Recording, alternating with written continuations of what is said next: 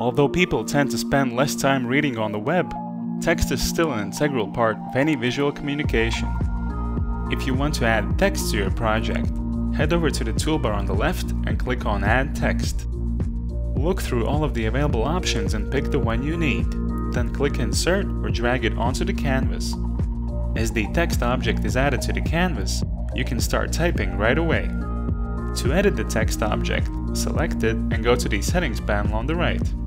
Here you can change the level of transparency, add an animation, change the color, font and font size. It is also possible to change the text size by dragging the corner of the text object outwards or inwards. In the Settings panel, you can add some standard formatting to your text, change line height and letter spacing, as well as make a list and superscript or subscript the text. To increase audience engagement, add a link to another page of the project or to an external URL.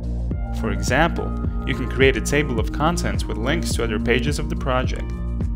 When working with responsive web and mobile layouts, you will have access to a simpler rich text editor that is more limited in possibilities. Make the most of the available text elements and have your audience well informed.